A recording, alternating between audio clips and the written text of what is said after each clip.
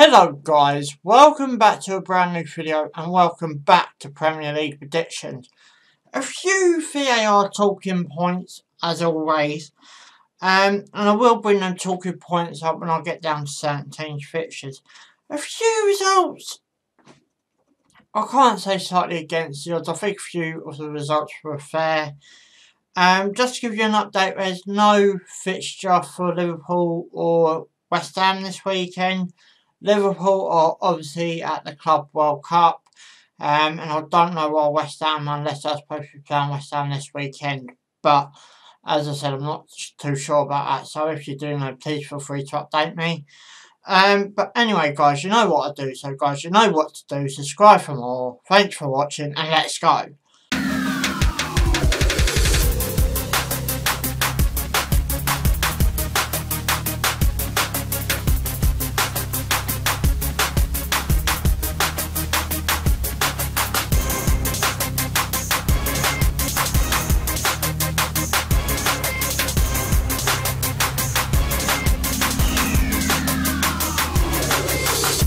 So the first game I'm going to talk about is Everton versus Arsenal. Everton 1-1 um, away to Man United. Arsenal losing 3-0 at home to Manchester City. There was this talking point um, about the Everton goal. Should it have stood? Um, my belief when I saw it is yes. Um, it should have stood. Um, I'll tell you what, um, if you remember back to the Brighton Wolves game, Wolves done a sort of opposite goal with arm on the Matty Ryan. Um, and this is where I say, this is where I like VAR, because you're seeing all the mistakes that our referees are making. Um, calling it one way one week and then not doing it the other. Um, but this is why I like VAR, because we've got the backup. Um, this game's going to be interesting. Obviously, um, Mikel Arteta and Carlo Ancelotti, sorry for mispronounced, I most probably have, um, look like becoming the new managers of both of these clubs. Um, I don't think Mikel Arteta is the right man for Arsenal. Um, um, the, who looks like the new Everton manager um, does it like, you know, it could be a perfect fit, but I think I feel sorry for Duncan Ferguson if he does get this job. I think Duncan Ferguson done a good couple of weeks at the job, give him a go. Um, but as far as this result goes, I'll go for a 2 1 Everton win. My next one is Aston Villa versus Southampton. Um, Southampton losing 1 0 at home to West Ham. Um, Villa losing 2 0 away to um, Sheffield United.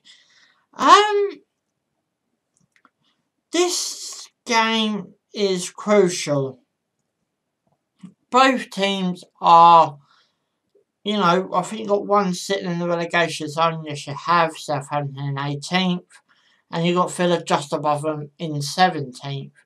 Um, draw one points, goal difference is what separates what separates them in the table position. Um, but as I said, this game's going be interesting for a matter of reasons, which I'm going to go for a 1-0 scoreline for that one. My next one is Bournemouth versus Burnley. Um, Burnley beating Newcastle 1-0 at home. Um, you know, great three points for Burnley after having a couple of um, disappointing weeks. Bournemouth beating Chelsea 1-0 away from home. This is another VAR talking point. I've seen the Bournemouth goal and I want to know how did that stand. Um, not the player that took the shot, but the player, there's a player offside um, well off for Walkers there, unless I missed something, but um, you know, it's well offside in the keeper's eye line.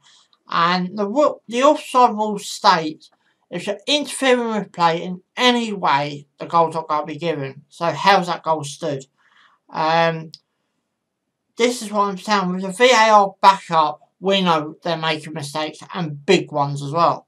Um, but as far as this result goes, I'll go for another 1-0 scoreline for that one. My next one is Brighton Albion versus Sheffield United. Sheffield United um 2-2 uh, no sorry uh, winning 2-0 at home to Aston Villa. Brighton uh, drawing 1-1 away to Crystal Palace. Um, I've always had a good point for Brighton.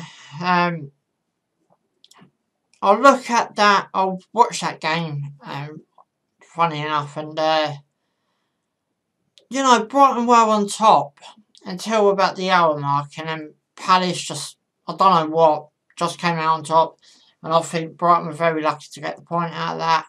Um, Sheffield United, we're going to be a bit of a you know, I think with Sheffield United, you've got to take your chances. Um, but as far as this result goes, I'll go for a 1 0 Brighton win. My next one is Newcastle versus Crystal Palace. Crystal Palace 1 1 at home to Brighton Hove Albion. Um, Newcastle losing 1 0 away from home to Burnley. Um, this game, I mean, let's look at the table for a minute. Crystal Palace in ninth, uh, Newcastle in 11th. Um, yeah, again, it could be another table changing game, which going to go for a 1 0 Newcastle win. My next one is Norwich versus Wolverhampton. Um, Norwich 1 1 at Leicester City great point for um, Norwich there. Um, Wolves losing 2-1 at home to, uh, to Tottenham. Um, that, uh, I think Norwich could have had a couple of more as well. Um, and Wolves were very unlucky to lose to Tottenham. Last minute goal by Tottenham to steal all three points. Um, but as far as this result goes, I'll go for a 2-2 scoreline for that one. My next one, and it'd be much going to be looking forward to sitting down and watching, is Manchester City versus Leicester. Um, Manchester City uh, beating Arsenal 3 0 away from home. Uh, Leicester 1 1 at home to Norwich. I've already stated about um, Norwich could have had a couple of more goals. Same with Leicester, I think. Um, you know, it's very much, you know, a good game that was. Um, Man City, where are they going this season? They're already, what, uh, 14 points off uh, Liverpool. Um, and because of the World Cup, Liverpool will have a game in hand. Um, Man City are going to have to win this one. Um, even if I do win it, I cannot claim back second spot. Leicester on 39, Man City on 35. Um, I'm going to go for a Leicester win. And I'm going to go for a 2-1 Leicester win. My next one is Watford versus Manchester United. Um, Watford losing 2 0 away to Liverpool, and Watford did have their chances up at Anfield as well. Um, Man United 1 1 at home to Everton. Um, as I said, Watford did have their chances up at Liverpool, just couldn't take them. Um, is Nigel Pearson, you know, possibly their saviour? Um, currently, as it stands, they are six points off the safety zone. It's a lot of work that needs to be done. And it's just literally coming up with 19 games left. At the minute, it's 21. Um, but this game's going to be interesting for a matter of reason. Man United do not look as confident as they were. Um, you know, even 1-1 against Everton. Um, so I'm going to go for a shocking result. And I'm going to go for a 1-0 Watford win. My, net, my next one and my last one for this weekend is Tottenham Hotspur versus Chelsea. Um, Tottenham beating Wolverhampton 2 1 away from home. Chelsea losing 1 0 at home to Bournemouth. Um, Chelsea did have their chances in that game as well. Just couldn't take them. Um, Tottenham.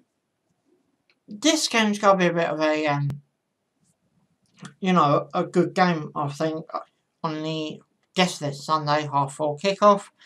Um, Mourinho against Frank Lampard. Um, you know, this game's going to have a load of emotion for both sides. Both managers going up against each other, which one going to go for a 2 2 scoreline for that one. But anyway, guys, you know what to do. Subscribe for more. Give us a big fat thumbs up if you enjoy it. Thanks for watching and ciao for now.